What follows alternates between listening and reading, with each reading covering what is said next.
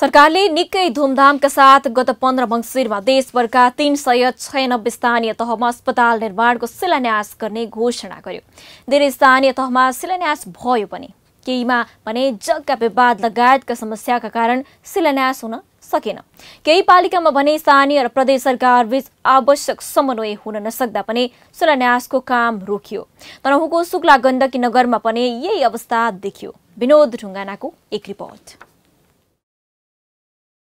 स्थानीय तहका जनतालाई स्वास्थ्य सेवाको पहुँचमा पुर्याउने उद्देश्यले सोमबार एकैसाथ देशभरका तीन सय छयानब्बे पालिकामा पन्ध्र सयको पालिका स्तरीय अस्पताल शिलान्यास भएका छन्। कतै विवाद त कतै हर्ष बढाइका साथ भएका हुन्। तनहुमा पनि दस मध्ये पाँच स्थानीय तहले अस्पताल शिलान्यास गरे। शुक्ला गण्डकी नगरपालिकाको पनि वडा नम्बर एघार बिसौना रायपुरमा पन्ध्र सयको अस्पताल शिलान्यास गरियो। अस्पताल बन्ने खुसियालीमा नगरवासीले बाजागाजासहित हर्ष बढाइ गरे। गाउँमै पन्ध्र सयको अस्पताल शिलान्यास भएपछि स्थानीयमा खुसीको सीमा छैन। उत्साहित त निकै छौँ।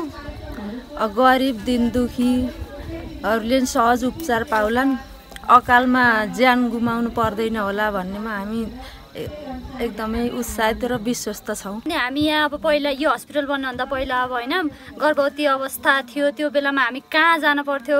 अप्ठ्यारो थियो गाह्रो थियो सुत्केरी बनाउनलाई अब स्याङ्जा जान पर्थ्यो। एक अझै त्यो डोकोमा बोकेर जाने अवस्था थियो हाम्रो। अहिले चाहिँ हाम्रो यहाँ गाउँमा हाम्रो दैलामै अस्पताल बन्न लागिरहेको छ। हामी धेरै खुसी छौँ। अस्पताल निर्माणका लागि सङ्घीय सरकारले शुक्ला गण्डकी नगरपालिकालाई यो वर्ष एक करोड रुपियाँ बजेट पठाएको छ। बजेट सङ्घीय सरकारले पठाए पनि कार्यान्वयनको पाटो नगरपालिकाले नै सम्हाल्नु पर्नेछ। तर स्थानीयले सहित अस्पताल शिलान्यास गर्दा नगरपालिकाले भने अस्पताल निर्माणको कुनै प्रक्रिया सुरु भएको छैन भन्छ।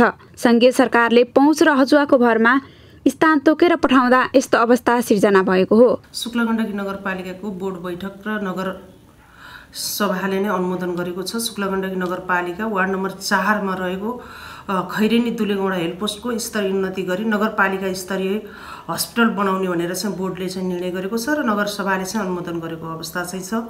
र अहिले चाहिँ रायपुरमा भएको त्यहाँको स्वास्थ्य सहरी स्वास्थ्य क्लिनिकलाई पनि स्तर उन्नति गर्नुपर्छ भन्ने चाहिँ नगरपालिकाको धारणा छ। गत वर्ष बाइस फागुनमा भएको शुक्ला गण्डकीको हिउँदे सभा तथा छैठौँ नगरसभाले समेत रायपुर स्वास्थ्य चौकीलाई स्तरोन्नति गर्न मन्त्रालयले सूचना प्रकाशित गरेको भन्दै बिरामीको चाप भौगोलिक सुगमता र पूर्वाधारको अवस्थालाई मध्यनजर गर्दै शुक्ला गण्डकी चार दुलेगैँडामा रहेको खैरेनिटार स्वास्थ्य चौकीलाई सूचीकृत गरी संशोधन गर्न स्वास्थ्य मन्त्रालय समक्ष अनुरोध गर्ने निर्णय गरेको थियो। त्यही वडाको केन्द्र साखमा नगरपालिकाले दुई वर्षदेखि नगर स्तरीय पन्ध्र सयको ढोर फुलबारी सहित अस्पताल सञ्चालन गरेको छ। एउटै वडामा दुईवटा अस्पताल सञ्चालन गर्न नहुने शुक्ला गण्डकीवासीले आवाज उठाउँदै आएका छन्। स्थानीय सरकार सहमति नहुँदा नहुँदै पन्ध्र सयको अस्पताल बनाउन सुरु गर्नुले प्रश्न उब्जिएको छ।